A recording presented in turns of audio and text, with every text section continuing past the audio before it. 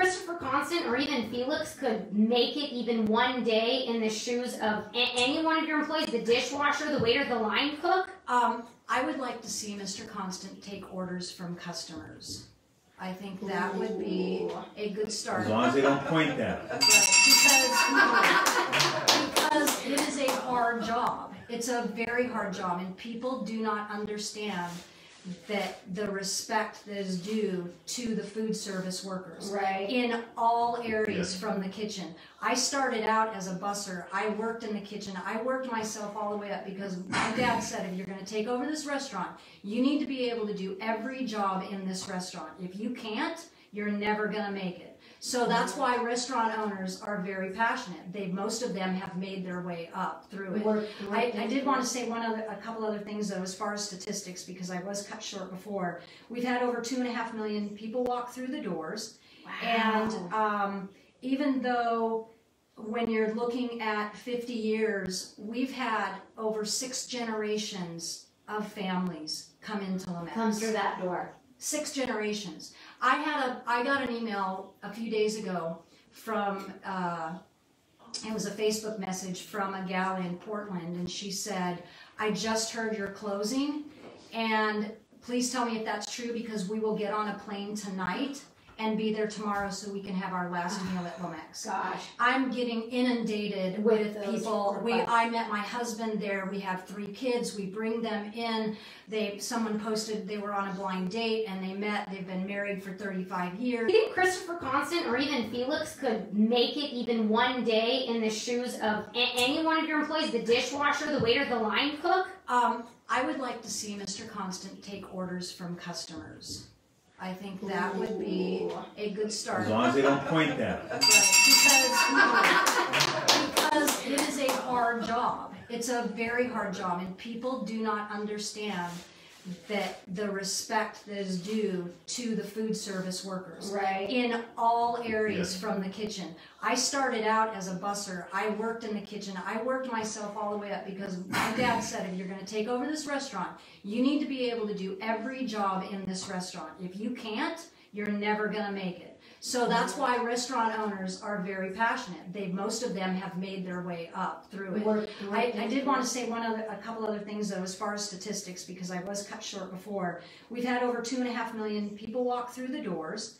And um, even though when you're looking at 50 years, we've had over six generations of families come into La Mex Come through that door. six generations. I had a, I got an email a few days ago from, uh, it was a Facebook message from a gal in Portland, and she said, "I just heard you're closing, and please tell me if that's true because we will get on a plane tonight and be there tomorrow so we can have our last meal at La Mex. Gosh. I'm getting inundated With with, people. We. I met my husband there. We have three kids. We bring them in. They, someone posted they were on a blind date and they met. They've been married for 35 years. Uh, Paul is the owner of the Carousel Lounge. Paul, thank you so much for joining us. You know, we were, we opened up two years ago. The business has been there since 1967. So it's a staple of Spenard. You know, we brought it back to life. The crew we brought in loves the Carousel Lounge. The customers that come there, that's their bar. And we were doing gangbusters up through March. And when March hit, um, you know, we realized we had to make some sacrifices. We did what we had to do. And um, we shut down. We lost, we had 16 employees, dropped down to zero and we did what we had to do. Uh, we reopened up and they let us open up with five employees. Uh, through that time, we had it got harder and harder. We had my manager ended up having a stroke. We had a couple bad situations with suicides, as I've mentioned before. We had uh, one marriage fall apart, other relationships fall apart. It's been brutal. Well, and that's the side of this at the assembly. I mean, they look at, well, it's the sacrifice. It's not, you know, someone made the comment, which I thought was very well stated, that they're not, they're not making a sacrifice. They have been a sacrifice. From our leaders, I would have liked to have seen less science and more sacrifice. I would like to have seen, we'll sacrifice our paychecks, take a cut, cut the MOA pay salaries, do something to lead us. Right. It's, it is a business, but at the same time, you, you know, you get to, you get to know their lives. And my, my partner, Linda, um, she has just done a great job bringing the whole crew together. and to see them all scattered, we're down to five now. We're gonna open hopefully on the first with four people. And, you know, they all, they all have rents, they all have expenses, they all have, some have kids, it's just been absolutely brutal on them. I go into apartments every day, and I walk in, and I see a single mom, three kids, out of work. The kids are on these laptops, she can't figure out the internet. That's, that's where we're at, trying, and she's, the, there, that's just one example. I've got about six or seven tenants who are three to four thousand dollars behind in rent.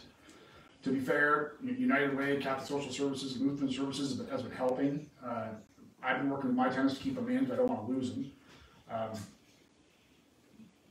But they're lost, I mean, they, they just don't know where to go. There's just nothing, and nothing they can do about it, And I right? I mean, And to be fair, there's some, it, it's weird because you've got, you know, some that are suffering so bad, and then some that are nothing, everything's fine.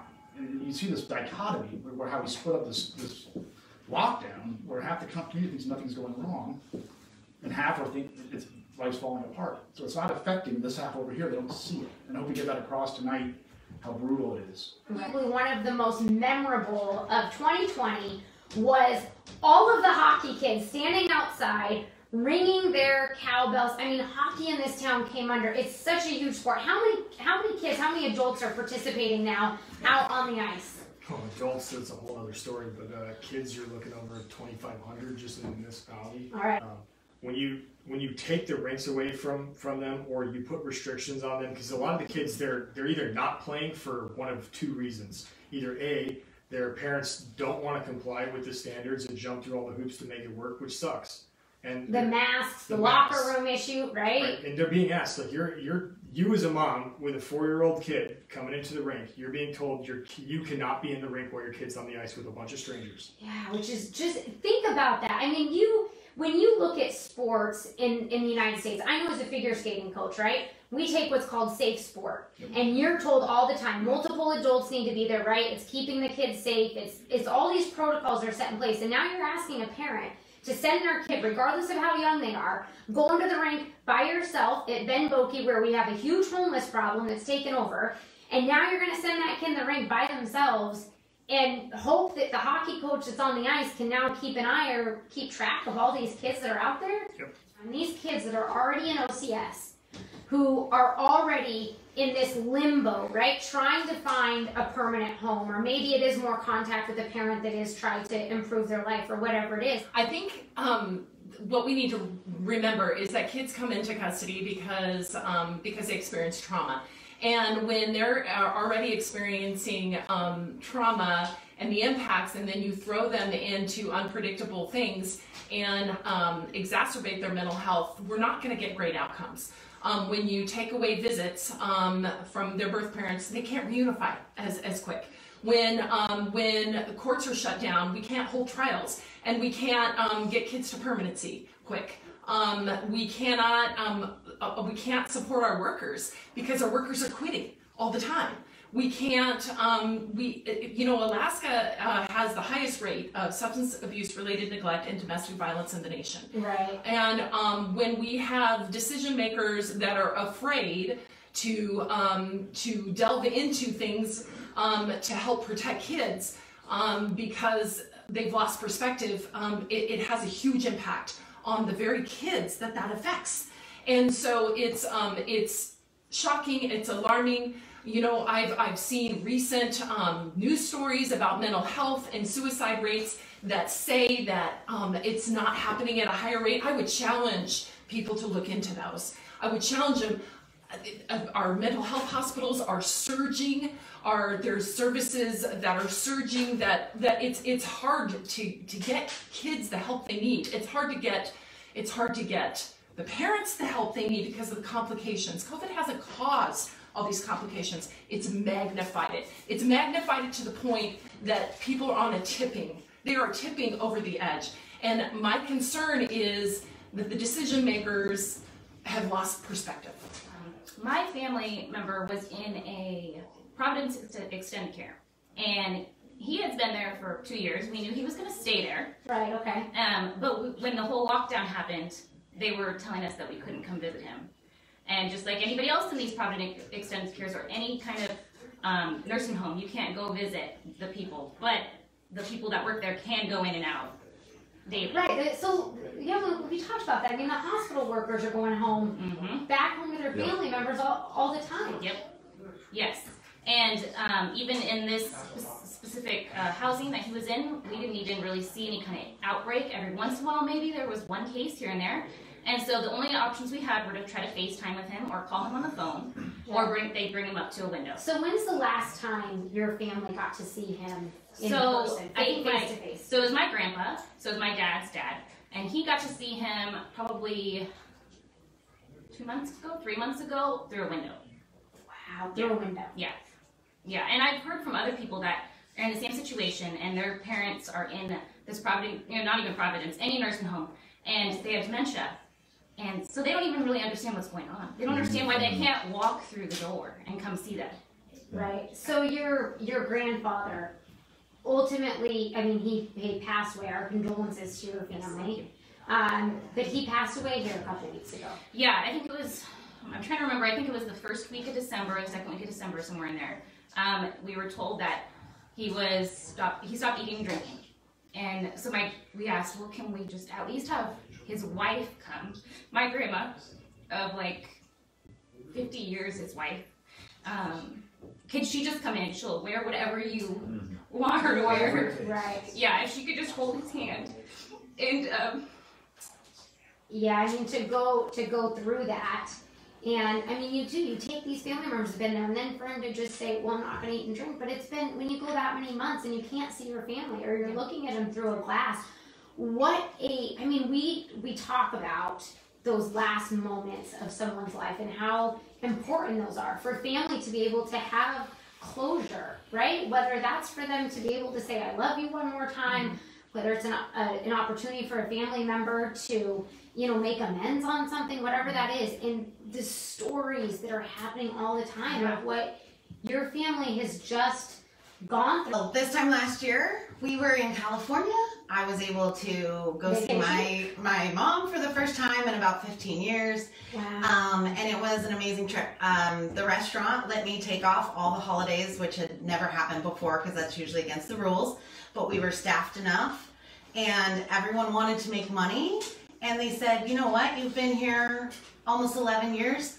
We're gonna let you have this vacation. And I I was in California for three weeks, and it was amazing. So you have the job security, the Job- ability all to of take it. the time off, Yeah. right? Used my credit cards. Shouldn't have done that. All right. So now, fast forward to now. I mean, you're working at Simon Seafort's. You mentioned you've been there 11 years. Yep. Now, 12 February. 12 years in February. Yep. Wow, that is that is phenomenal. Um, when we talk about employees that become like family, Yeah. That's uh, it. Amber, that is the epitome of it. But talk to me now. I mean, you've lost, you've you've completely lost your work, Yes. wiped out. I mean, it's there's so many layers to all of it. Um, the biggest thing is I've been on an unemployment and I've been out of work for nine months. Luckily, I've uh, because I've worked full time since I was 15. I was able to get that unemployment. A lot of people in this industry, if they hadn't worked for a long time or whatever their circumstances were, you're not always eligible. You don't. There, you know, most of us don't Right. have that security blanket. So that's why I've been going to the assembly meetings and that's why I've been going to my community council meetings and just fighting and trying to have a voice for all of these industry workers because a lot of them don't know the system. I didn't know the system 9 months ago, but I'm I'm the type of person that I I saw what was happening right from the beginning and it was so wrong at the core. Did you ever even think a year ago that you'd be sitting here today being forced to collect unemployment?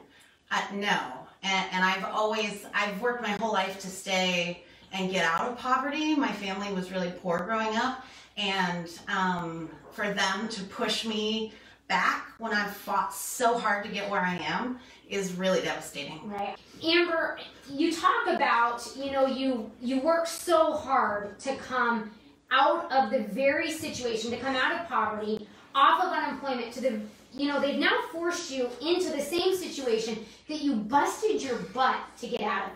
Since Talk I to, was 15. talk to me about that struggle since you were 15. Walk, walk us through what that looked like for you at 15. Um, you know, I moved up to Alaska when I was 10. My dad was in the Coast Guard. And so I got separated with, from him when I was three. So I was raised in California.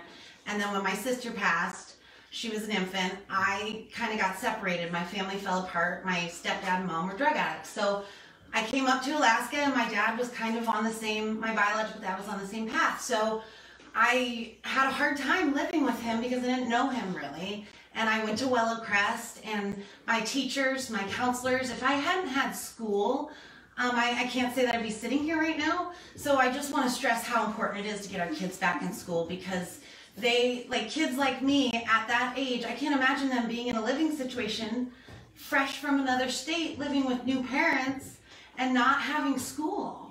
And be, you know, so I So school's what kept you School's what grounded kept me during those hard grounded. I still got in a lot of trouble, but I turned things around at 15 when I started working at Lucky Wishbone. 15 years old. working 15, and I, I had to drop out of West High and I had to start going to save because I was so behind on credits. So I made up four years of high school in two years, graduated with a scholarship. Is awesome. You know, I was getting in a lot of trouble during those years as well, but because I had that job, George and Peg Brown from Lucky Wishbone, I mean, you know, he's a veteran, bless his heart, he's he put a work ethic in me and gave me a second family. And that's what rest I've been working in restaurants ever since. And um, I worked at Boys and Girls Club for a little while, but I also waited tables. And restaurants are restaurants are people. Restaurants are a family for people who don't have a family. And and what's happening right now is t- like it's it's terrible. you had people are really- yeah. Yeah. And so I, I, I'm fighting to get restaurants back and to help people that are in my situation now that I was in then. Hope. They're Right. hopeless. There's a lot of really hopeless people Yeah, out there. And you know, outside of any check that anyone could write someone, right? I mean, you talk about your struggles and overcoming that to where you became, you know, you overcame poverty, you became independent, you became self-sufficient, and now at, through no cause of your own, someone literally rips that right out from underneath you and is trying to tell you, this assembly is trying to tell you, well, you should be content. You've got unemployment. We might get you more cares. You should be just fine because you're going to sacrifice, sacrifice on, uh, uh, you know, behalf of all this. They haven't given up any of their paycheck. No. And, and they they assume that I can just go get another job. Just go get another job. Why can't you get a job? Oh, I don't know because my kids aren't in school. My husband works during the day full time. Who's gonna homeschool my kids and who's gonna take care of my kids if I have to get a day job? The other crazy thing I want to mention is a lot of uh, the back of the house staff. They're they're a lot of them have spouses that work in restaurants too. So now you have an entire household out of income. I mean, it's so common for servers and back of the house to have matches and make families and now you know I I just I can't imagine if both my husband and I were in this industry. So I, I mean, I, my heart goes out to so many families, and Simon's just so everyone knows might not stay open. Yes. Do you really think that Christopher Constant, Felix Rivera, Forrest Dunbar, Austin Quinn Davidson could even make it even one shift in your shoes? Mm-hmm. They probably leave in tears, just from the way that the chefs would say, "I you ordered that wrong. You can't modify that." You're not allowed to point at me though. Oh, It's yeah, like don't Christopher point at me. Constant's big thing, right? You're not allowed to point at me. Don't say my name. at all. I could not imagine. I'd imagine. like to see it. I could not imagine Christopher Constant. I think it would be hilarious. I want to see them have to spend even one day in the shoes of those who they have wiped out of work as they're still collecting their paychecks. So So Trina, Yeah. I want to talk to you. The other night at the assembly meeting, typically you get three minutes to testify at the assembly meeting. Uh, the assembly only gave you two minutes to testify. I will tell you, um, I've stood up there obviously myself and testified numerous times. I followed politics for years, and your testimony was by far one of the most compelling I think I've ever seen, ever. I mean, it was The, the, the numbers were unbelievable, uh, the amount of money you've pumped into this economy. Well, I went through, I tried to come from a historical point because I was told that the assembly has reached a point where they're not listening anymore. They're hearing the same stories, the same statistics, the same, even if it's the same people telling different stories, they're not paying attention. They're up there on their phones, they're Googling who you are, what you, what you are doing. And so I thought, maybe if there was a way that I could come across and give some statistics on not just how many people are affected and have been affected, but then the amount of money that have has reached across the world and across through through the state and the city of Anchorage. Um, my opening one of my opening statistics was that we've had over two hundred and forty million dollars in revenue come through the Two door. hundred and forty million. And we're family-owned restaurant. We're, we're not, uh, we're not obviously Simon Seafort's We're not a, uh, chain restaurant. You've, you've got the franchises. And to, over a span of fifty years, obviously three restaurants. But what, when you break down that two hundred and forty million dollars, that, the effect of that, that how many times over that one dollar has gone through. Now, mind you, when I held up the first menu of that my dad scribbled his uh, his uh, uh, signature on, it the price of a they had ten items. That was their first very first venue when they first opened, and you could get what we charge right now sixteen dollars for was a dollar forty five. Wow. So exponentially over time, two hundred and forty million dollars. If you were to probably break that out in today's prices, Mhm. I don't even know if I have the number for that. Add a few zeros, you know, Yeah. thirty-five million, three billion, I don't know. But Right. it's just the, the value of that dollar and how it's trickled down to the employees and um, how much wages we've paid, how many nonprofits we've donated to. Um, it's well over a thousand. I, originally, in my testimony, I said 700, and I went back and I started. So more than a thousand. More than a thousand nonprofits. And I guarantee you that any nonprofit that has been around uh, prior to the year 2000, from anywhere from 1970 to 2000, say five, we've donated to them. I would almost guarantee because there was a time where we would get hundreds and hundreds of requests for donations, and it would just we would put them out the door because we truly believe you you you you give back what you take in. Right, so two hundred and forty million dollars in revenue over the course of those years, donations to more than a thousand nonprofits. Before COVID started, I had 35 employees.